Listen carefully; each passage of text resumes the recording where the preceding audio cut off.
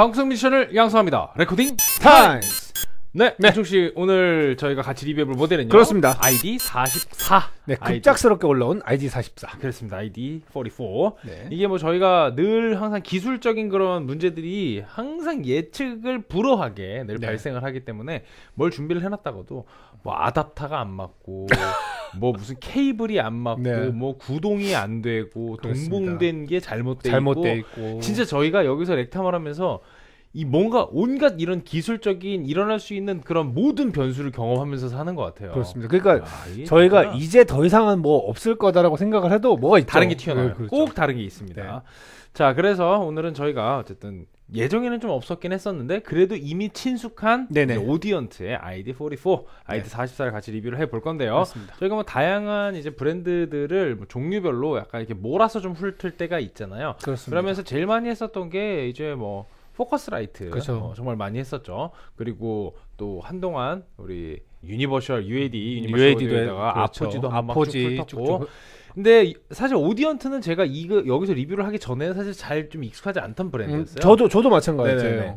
근데 이제 저희가 이 오디언트를 이번에 세 번째 이제 하면서 조금씩 조금씩 이제 좀 친숙해져 가고 음. 있는데 오늘 이44 같은 경우에는 또 어떤 퀄리티를 보여줄지 기대가 음. 많이 되는 게 음. 사실 솔직히 얘기해서 저는 소노는 그렇게까지 인상적이진 않았거든요. 음. 소노는 뭐뭐 기타리스트들을 위한 인터페이스다라는 게 음. 사실 막 그렇게 기타리스트한테 특화되어 있는 네. 성공적으로 특화되어 있는 경우를 좀 본 적이 좀 거의 드물어서 차라리 ID4가 더, 더 저는 아이디보는 네, 괜찮았었고. 괜찮은 인상이었고요. 소노는 조금 기대에는 좀 못 미쳤다. 네. 그런 느낌이 좀 있는데 오늘 이 44는 기본적으로 좀 high-end의 성향을 갖고 있기 때문에 네. 기대를 좀 해봅니다. 그리고 이제 일단 기본적으로 오디언트가 디자인이 되게 좋아요. 네. 디자인이 굉장히 맞아요. 아름답습니다. 그리고 아날로그적인 어떤 조작감, 아우. 아, 다루는 재미 이런 맞아요. 것들이 조금 기대가 많이 돼요. 자 오디언트 사이트 한번 살펴볼게요. 오디언트 사이트는 이렇게 한글 설정을 아, 할수 있기 때문에 맞아요. 굉장히 편하게 보실 수가 있고요.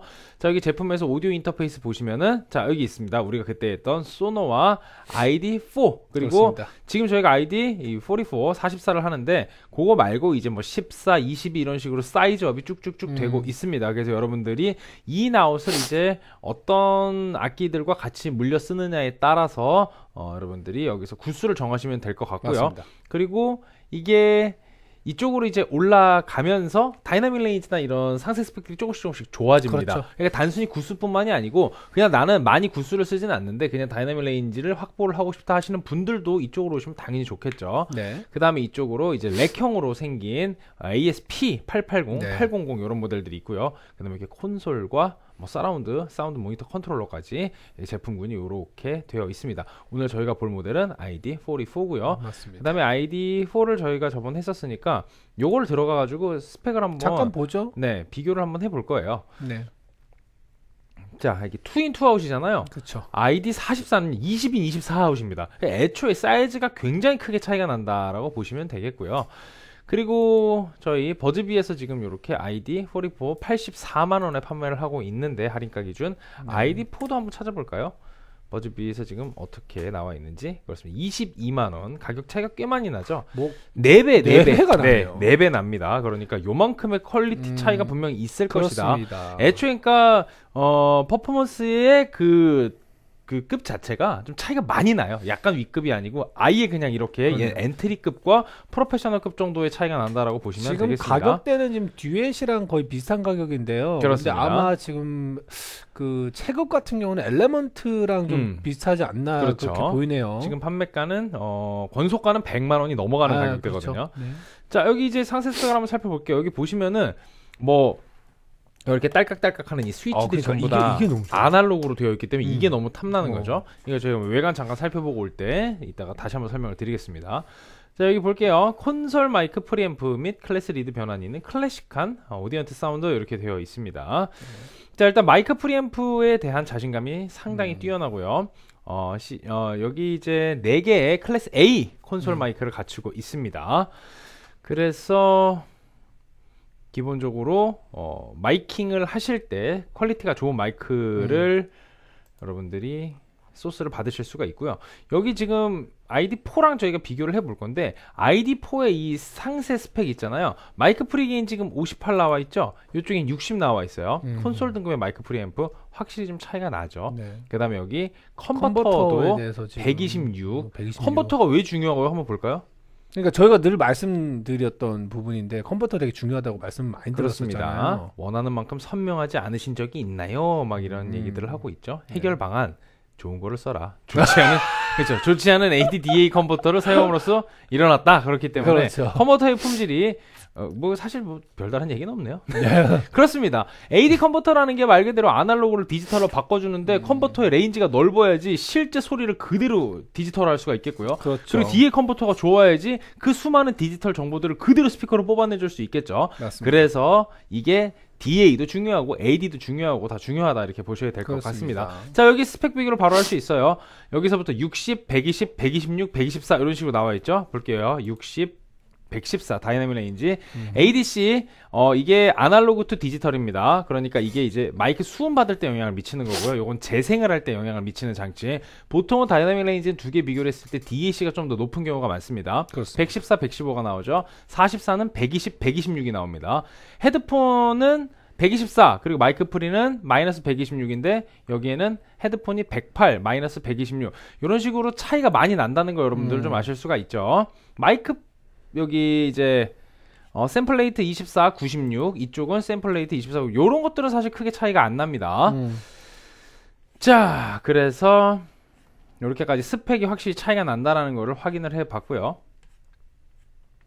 이 앞쪽에 보시면은 어, DI 인풋에 5잭을 두 개를 꽂을 수 있게 되어 있습니다. 네. 그 다음에 헤드폰 인풋도 두 개가 있어서 어, 여러분들 모니터 하실 때 굉장히 편안한 환경을 그렇습니다. 제공을 해주고 있고요. 그리고 소프트웨어 여기 보, 고 계시죠? 소프트웨어도 이따가 저희가 보여드릴게요. 네. 자 토크백 연결 가능하고요. 자 이렇게 사이트 상에서 쭉 살펴봤어요. 그럼 이번 바로 외관 어, 아나, 아날로그 상태의 외관을 확인을 해보도록 하겠습니다. 네.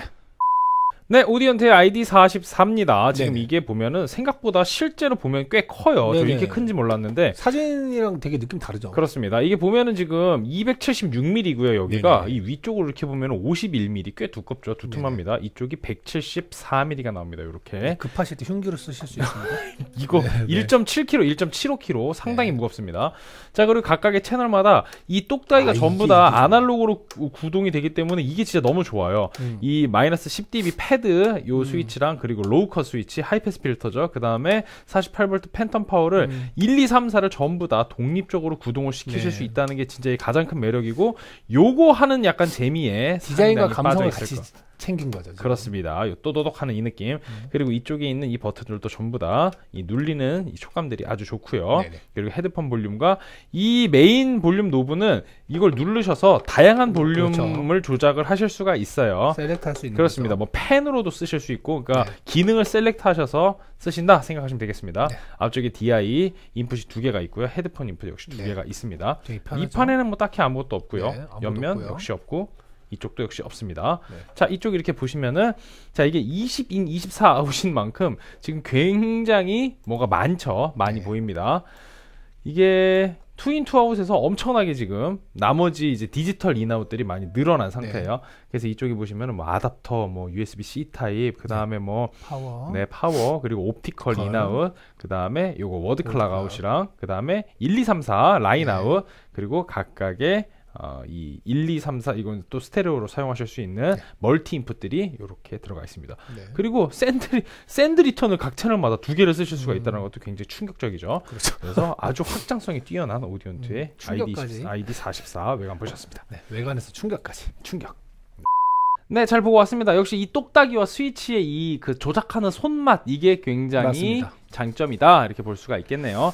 그리고 이 dynamic range 자체가 상당히 high-end급이기 때문에 그렇죠. 126이니까. 네, 여러분들이 쓰고 계시는 어 그런 오디오 인터페이스 중에서는 이 80만 원대 할인가 기준 80만 원대 가격대에서는 상당히 높은 편에 속하는 네. dynamic range를 가지고 있다. 최근에 했던 거랑 비교를 해보면은 아폴로 트윈엑스랑 아폴로 X4 여기가 이제 모니터 dynamic range가 127이 나왔단 말이에요. 그럼 음. 네네. 126이면 거의 거기와 비슷한 UAD와 비슷한 정도의 그러니까 지금 가성비가 range를, 되게 네, 가성비 엄청 좋은 그렇죠. 상황이죠. 수치만으로 보기엔 일단 그렇습니다. 그래서 저희가 음. 이걸 이제 어떻게 해볼 거냐 하면은 예전에 저희가 iD4 때 뭐를 했었냐면은 저희가 그 콜드플레이 Everglow를 그때 네. 시연을 했었거든요. 그때 마침 베이스와 어쿠스틱 기타를 iD4로 받았어요. 어차피 네. 동일한 악기고 맞습니다. 동일한 마이크이기 때문에 이번에 저희가 iD44로 받아가지고 그 두 개의 sound source를 비교를 다음 시간에 하면서 실제로 음. 같은 장비에서 dynamic range만 바뀌었을 때 애초에 이건 브랜드까지 갔기 때문에 정말 딱 dynamic range만 비교하기 가장 최적의 음. 비교 조건이 되겠네요. 그걸 저희가 활용을 해 볼 거고 거기다가 얹어서 일렉 기타도 조금 추가해서 사운드를 모니터를 해보는 걸로 하도록 하겠습니다.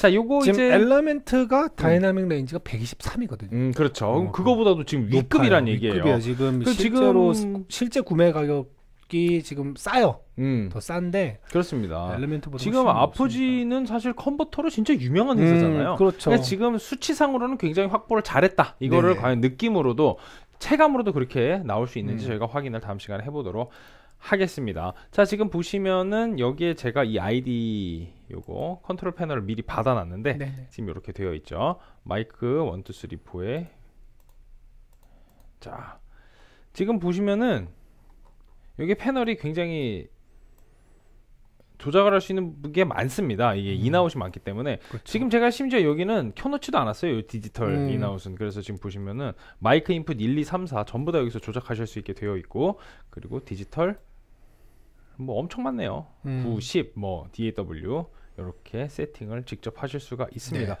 그다음에 이쪽에 뭐 talkback, 모노, 뭐 alternative, 뭐 diminish, cut 이런 거 다 여기서 세팅 가능하시고요. 그리고 이쪽에서 buffer size setup에서 이렇게 정해주. 지금 256으로 되어 있는데 이러면은 저기 latency도 굉장히 작게 나옵니다. 네. latency가 지금 현재 9, 음. input latency 9 이렇게 나와 있네요. 자 그리고 여기다 마이크 연결해가지고 바로 마이크 들어가는 거 확인 수음 확인만 네. 해볼게요. 자 저희가 이제 마이크를 이렇게 연결을 했잖아요. 네네. 그리고 여기 48V를 이렇게 켜주시면은 이제 이 채널에는 여기 phantom power가 구동이 된 겁니다. 네. 그다음에 이거 마이너스 10 패드로 설정을 해주시는 거고 요거는 설정 안 해주셔도 되고 지금은 이건 이제 low cut이죠. 그렇죠. low cut도 역시 설정 안 해주셔도 되고 자 마이크 여기 이미 여기서 벌써 볼륨이 어우 너무 세게 쳤어.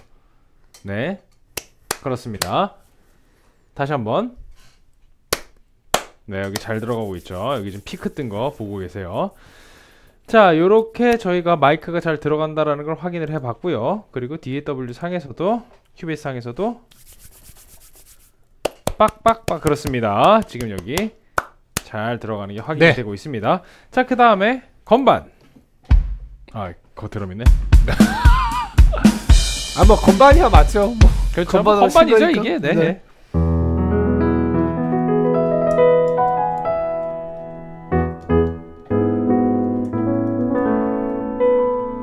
네, 연결이 잘 되어 있습니다.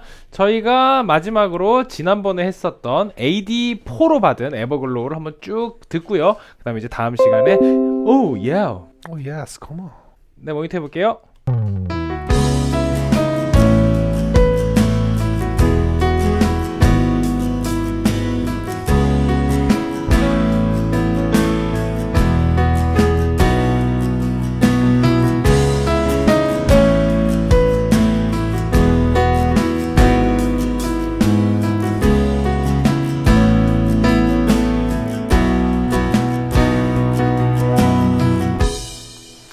이게 자, 이렇게. 네. 그 iD44로 들어서 그런지 모르겠는데 더 좋, 좋게 들리네요. 그죠? 확실히. 왜냐하면 애초에 네. DA 자체도 다르니까. 그러니까요. 아, 그렇습니다. 역시나 그게 차이가 있어요. 중요해요, 이거. 그 네. 저희가 한 100대 초반이랑 120대 후반, 130대까지 계속 늘 바꿔가면서 듣잖아요. 그러니까 이제 dynamic range 원래 예전에는 이렇게까지는 음. 구분 잘 못했는데. 왜냐하면 저희도 그때는 너무 쌓인 게 그치. 없었으니까. 근데 지금 저희가 진 짜 많은 수십 대의 인터페이스를 dynamic range별로 다 들어봤잖아요. 그죠. 이 차이가 나. 분명히 차이가 납니다. 그리고 지금 제가 느끼는 게 예. Audient도 약간 예. Antelope의 느낌이 있네요. 그 아. high가 그 우리가 좋아하는 그 음. 하이가 그 잘 들리는 게 네, 좀. 있네요. 좀 시원하게 열리는 예, 느낌이 예, 예. 있죠. 네, 그러면 요거를 이제 다음 시간에 요거에 이제 iD4로 iD4로 받은 거고요. 다음 시간에 이제 iD44로 음흠. 어, dynamic range가 확실하게 늘어난 상태에서 저희가 녹음을 받고 거기다가 일렉까지 얹어서 비교 시연을 하는 것, 거 이제 활용편으로 두 음. 번째 시간에 보내드리도록 하겠습니다. 자, 오늘은 어, 첫 번째 시간 셋업은 여기까지요. 네, 방송 미션을 양성합니다. 레코딩 타임스